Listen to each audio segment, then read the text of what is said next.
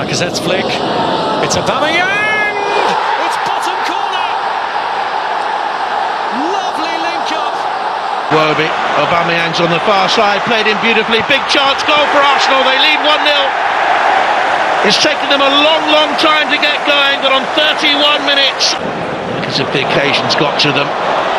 And here's Aubameyang, and that's beautifully crafted for 3-0. He's enjoyed...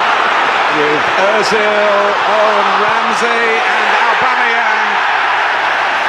It looked as though they'd made a mess of it, but in the end, Now slow to close him down. Aubameyang!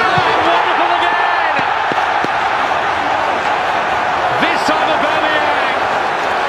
Here's Aubameyang,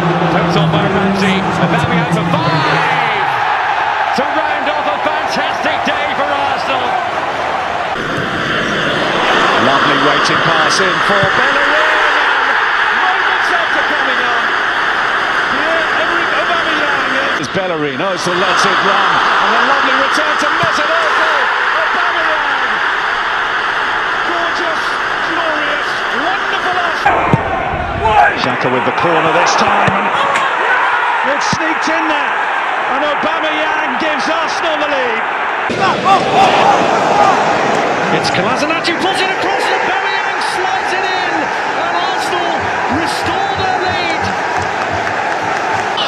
Aubameyang scores! And you can't say that Arsenal haven't deserved it. Bellerin seeking out Aaron Ramsey. Aubameyang! Oh, brilliant! He took it first time and with devastating... That's a very intelligent ball and it come back for Aubameyang. There's the breakthrough.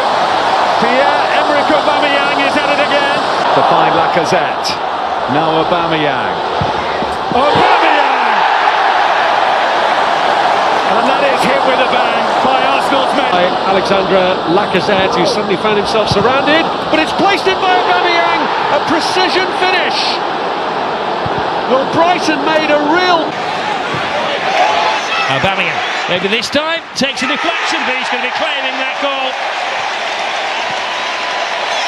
A jump for joy. When the lights are out.